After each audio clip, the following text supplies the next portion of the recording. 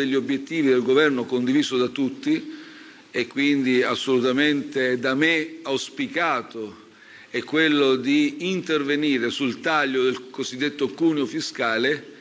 Abbiamo già anticipato che siccome le risorse purtroppo non saranno così cospicue, opereremo un taglio del cuneo fiscale esclusivamente a favore dei lavoratori.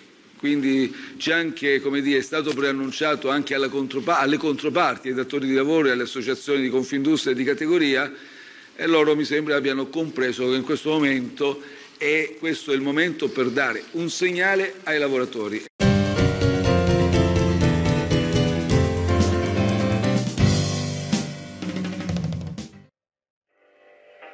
Buonasera, buonasera da Bruxelles, buonasera dalla eh, Bussola. Dunque queste parole che riguardano la struttura della manovra, una manovra complessa per stessa ammissione del Presidente del Consiglio, Giuseppe Conte le ha pronunciata a Tirana dove è in visita eh, di Stato ufficiale bilaterale. Avrete notato eh, le parole sul cuneo fiscale e la devoluzione di mezzi, di risorse che sono comunque limitate a favore dei lavoratori. Questa è la scelta eh, simbolica, programmatica di Conte alla vigilia di un Consiglio dei Ministri che si aprirà intorno alle 21 di questa sera che sarà decisivo appunto per l'approvazione della manovra. Cosa aggiungere prima di dare la linea al Senio Bonini? Soltanto una cosa che poi la manovra comincerà a fare il suo iter di check, di controlli eh, successivi da parte dell'Unione Europea in un clima che apparirebbe molto migliorato. A te Senio da Tirano, eh. buonasera.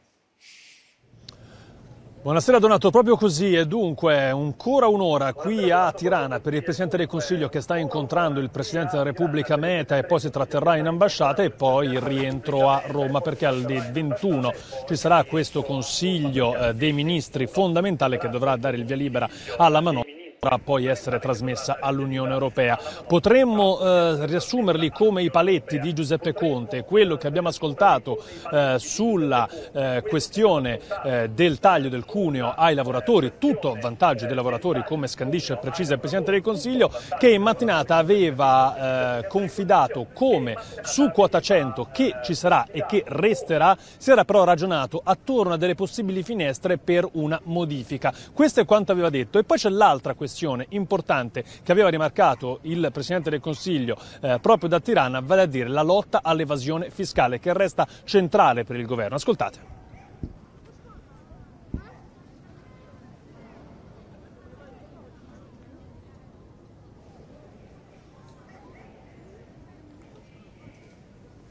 Allora segno evidentemente non abbiamo questo sonoro, continua pure. E dunque sì, allora lo riassumiamo brevemente. In pratica il Presidente del Consiglio aveva detto per noi resta fondamentale, anche perché è inaccettabile che gli italiani onesti paghino più tasse rispetto a tutti coloro che non le paghino. E dunque il refrain è sempre il solito, pagare meno per pagare tutti, non una lotta all'evasione che è solo declamata, in riferimento forse polemiche quanto fatto in passato e che non ha portato risultati, ma per il Presidente del Consiglio dovrà essere una lotta all'evasione che dovrà portare risultati. Perché annuncia non mi fermerò affinché eh, non arriveranno su questo fronte dei risultati apprezzabili. Donato, per ora è tutto, ne a voi. Stiamo ancora lavorando sugli ultimi dettagli, ma ormai il quadro di fondo è definito. Eh, era difficile, ma ci siamo riusciti. L'IVA non aumenterà, avremo meno tasse sul lavoro e quindi più soldi in busta paga, più soldi per gli investimenti a partire di quelli green e un robusto pacchetto per la famiglia. Quindi è una manovra importante per il futuro del Paese. Allora, onorevole Pignedoli, eh, ci sono altri due elementi. Uno che è, è, stato un po' da subito il marchio di fabbrica della politica economica del governo Conte 2, e cioè la virata forte verso l'economia verde. Il secondo elemento che aggiunge Gualtieri è quello di un sostegno alle famiglie. Sì, certamente. Eh, devo dire che prima si parlava di aumentare le tasse, in realtà eh, le tasse non aumenteranno perché da quello che emerge già eh, non ci sarà eh, l'aumento dell'IVA, eh, non ci sarà eh, l'aumento anche del, delle imposizioni fiscali sulle partite IVA fino, eh, rimarrà al 15% fino a 65 mila euro. E per gli altri non, che aumenta? Non ci saranno le... Non ci interrompiamo? Non ci sarà la tassa sulle SIM e, e, sarà mantenuta quota 100 che per noi è molto importante. Di Maio l'aveva già promesso nella nostra festa Italia 5 Stelle che abbiamo tenuto a Napoli e quindi ehm, questa, questa, manovra comunque è una manovra espansiva, è una manovra che è volta alla crescita, eh, che punta appunto al, al, taglio del cuneo fiscale e al, ai finanziamenti per le famiglie, ma eh, con un occhio anche di riguardo alle imprese comunque. È ovvio che i finanziamenti, cioè il, i fondi sono pochi, i soldi sono pochi, però si cerca di fare il più possibile. Ecco. Avete visto lo speciale di Antonio Di Bella, del direttore di Renews 24, dedicato ancora ovviamente alla eh, vicenda turca e allo sconfinamento nel nord-est della Siria, dunque all'attacco al popolo eh, curdo. Gli aggiornamenti in diretta da Istanbul dalla nostra corrispondente Carmela Giglio. A te Carmela. Sì, oggi i piani di Erdogan si sono scontrati con quelli del presidente russo Putin. Erdogan ha perso mentre il capo del Cremlino si conferma come il vero arbitro dei destini siriani, almeno in questa fase. È successo a Manbij, una città eh, strategica alla, sulla sponda occidentale dell'Eufrate che era occupata dai curdi. Eh, Erdogan puntava a conquistarla, ha mandato lì le sue truppe che la stringevano d'assedio, ma a Manbij sono entrate le forze siriane dopo che i curdi, proprio per non soccombere all'offensiva turca, si sono affidati al regime di Damasco. C'era il rischio di uno scontro aperto tra le forze di Ankara e quelle di Damasco che è stato sventato proprio dai russi. Sono stati loro a comunicare che le, la città è nelle mani dell'esercito eh, siriano e pattugliata dalla polizia militare russa. Quindi Erdogan in questo caso è stato costretto ad arretrare, ma il suo prossimo obiettivo è Kobane, la città eh, simbolo della resistenza kurda contro l'ISIS. Intanto sulla regione orientale dell'Eufrate continua eh, l'offensiva e i curdi stanno recuperando terreno, in queste ore stanno eh, contendendo palmo a palmo ai ribelli filo-turchi il controllo della città di frontiera di Ras Al Ain. Intanto Trump prova a fermare Erdogan minacciando sanzioni e sta per mandare qui in Turchia il suo vice Pence, ma il presidente turco ribadisce non mi fermerò finché non avrò centrato tutti gli obiettivi che mi sono prefisso. Ed è tutto, linea a voi. Eh, onorevole Pignedoli, considerando anche che la Turchia è un partner estremamente importante della Nato e considerando anche il fatto che la Turchia ha ricevuto molto denaro per la gestione dei flussi migratori, ritiene che lo spazio tecnico di intervento eh, politico dell'Unione Europea sia molto stretto? però ci deve essere in questo caso, è necessario perché eh, quello che sta succedendo in Siria è inqualificabile e considerando che la popolazione turca ha combattuto in maniera molto eh, importante per l'Occidente contro la minaccia terroristica, quindi è importante che l'Europa sia compatta in questo. E bisogna fare fronte comune perché come, appunto, come si diceva prima, se solo l'Italia o solo pochi paesi dell'Unione Europea, sebbene i principali, eh, hanno, in, hanno sostanzialmente messo un embargo alla vendita delle armi, è importante che tutti i paesi dell'Unione Europea non vendano armi alla Turchia. Eh, parliamo di Brexit perché eh, potrebbe essere, ovviamente usiamo tutti i condizionali, le virgolette del caso, l'esperienza ci ha insegnato eh, questo, per oggi c'è stato il Consiglio dei, degli Affari Generali, cosiddetto ancora a Lussemburgo, per noi c'era il Ministro eh, Amendola, il tentativo è quello di chiudere al Consiglio europeo di giovedì e venerdì che si terrà qui a Bruxelles. Sentiamo che cosa eh, ha detto il capo negoziatore che da tre anni si occupa molto strettamente di questa materia, Michel Barnier, entrando appunto al Consiglio. Uh... Anche se un accordo sarà difficile, sarà sempre più difficile, per essere sinceri, è ancora possibile raggiungerlo questa settimana. Si può raggiungere un accordo? Uh, Perché è ancora possibile. Ovviamente qualsiasi accordo deve funzionare per tutti. Per tutto il Regno Unito e per tutta l'Unione Europea. Ed è arrivato il momento di trasformare le buone intenzioni in un testo legale.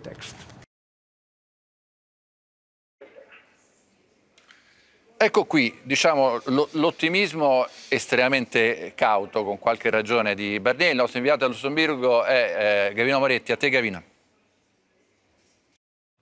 Buonasera Donato a te e ai tuoi ospiti. Diciamo subito che il vertice in Lussemburgo si è concluso con il pieno sostegno dei 27 ministri per gli affari europei al capo negoziatore dell'Unione per la Brexit, il francese Michel Barnier. Al vertice era presente anche eh, Stephen Berkeley, ministro britannico per la Brexit, che ha detto un'intesa questa volta è davvero possibile perché il confronto sta avvenendo sui particolari di un possibile accordo. L'ostacolo da superare resta comunque quello dei controlli doganali tra l'Irlanda, che fa parte dell'Unione Europea, e la Gran Bretagna, che invece resterà fuori dal mercato unico. Qualsiasi accordo dovrà comunque poi essere messo nero su bianco entro domani, in modo da essere discusso al Consiglio Europeo di giovedì e venerdì. Corsa contro il tempo, quindi in Intanto sulla possibilità di arrivare a un'intesa che eviti un'uscita disordinata della Gran Bretagna dall'Unione Europea è intervenuto anche il Ministro per gli Affari Europei italiano Enzo Amendola. Sentiamo le sue parole e poi di nuovo linea a te.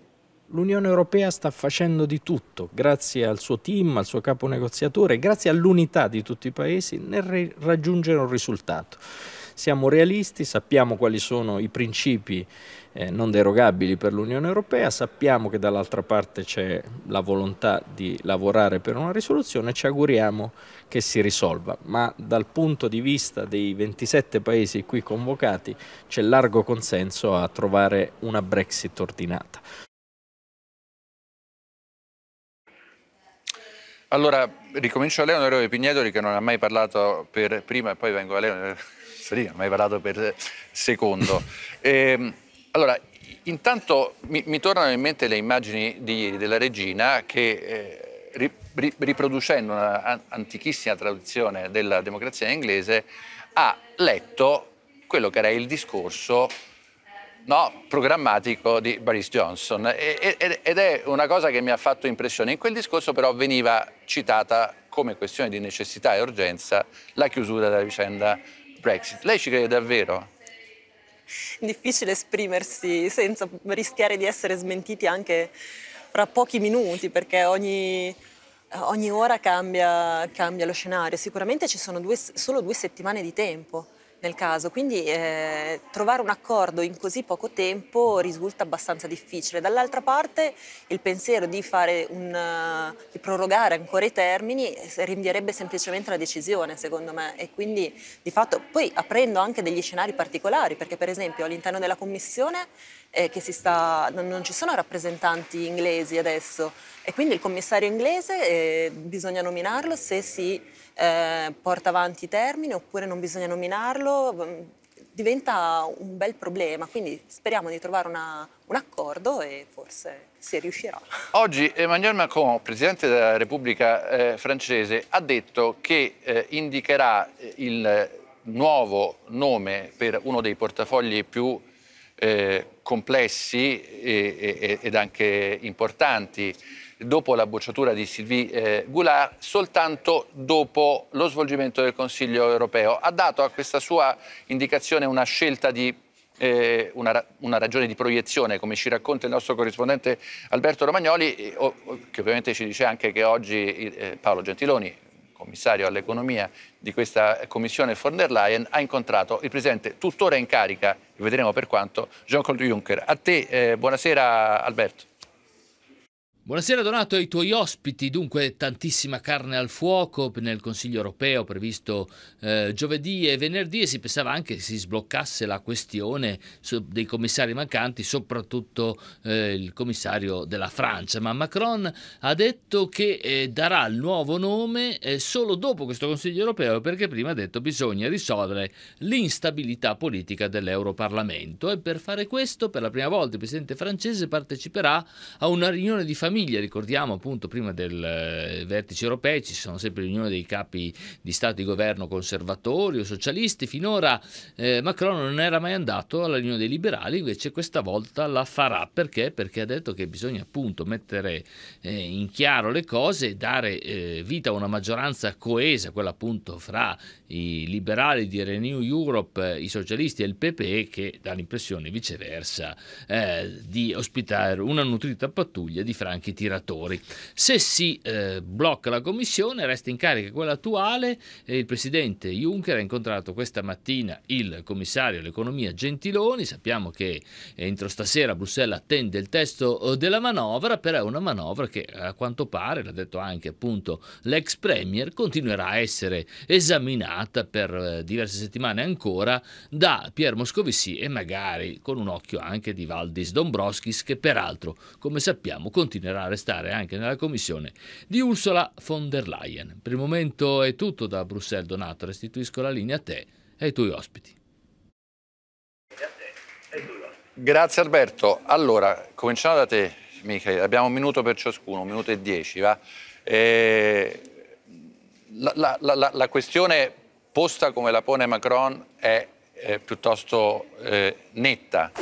Evitare altri eh, incidenti, ammesso che qualcuno in, qualche modo voglia eh, procurarli, ma sembra complicato perché eh, pare intenzionato a blindare quel portafoglio da una parte, dall'altra parte dare una prospettiva di maggiore compattezza ad una eh, commissione che al primo voto del Parlamento europeo è passata per nove voti. È questa un po' la, la razza del Presidente francese? Sì, ma prima dobbiamo avere una spiegazione di cosa è successo perché eh, Macron ha detto che aveva l'accordo da parte dei presidenti dei eh, tre grandi gruppi, secondo eh, quello che aveva detto eh, von der Leyen.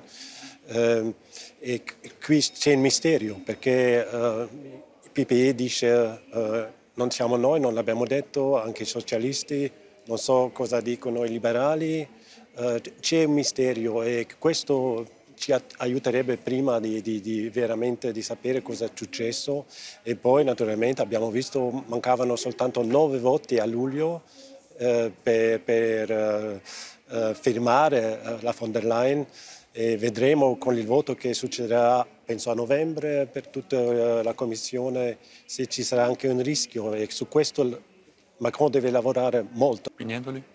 Ma io ho visto tutti i commissari nella, nella Commissione Giustizia perché sono passati tutti quanti e effettivamente forse la Goulart qualche, qualche problemino ce l'aveva, forse ha sbagliato, ha sbagliato anche la candidata. Ecco. Questa è la mia opinione. Ha sbagliato, ha sbagliato Macron a candidarla? Sì, secondo me sì, non, non, era secondo me il personaggio migliore da poter candidare, tanto più che aveva questa questione di stipendi rilevanti che aveva percepito eh, da uno studio americano e non, a cui non ha, dato, non ha, fornito spiegazioni adeguate. Adesso vedremo se, come se succede spesso nella cosiddetta realpolitik, eh, l'obiettivo vero di Macron, cioè salvare quel portafoglio che eh, voi stessi avete definito estremamente ponderoso, sarà raggiunto o, oppure no. E per questo sarà decisivo, anche per questo, perché ovviamente poi ci sarà Brexit, sarà decisivo il Consiglio europeo dei prossimi due giorni. Molte grazie a Massiliano eh, Salini grazie. di Forza Italia, grazie. Sabrina Pignedo del Movimento 5 Stelle e Michael Stabeno, Frank Allgemeine Zeitung. Ci vediamo domani, stessa ora, non perdete la bussola. Buona serata.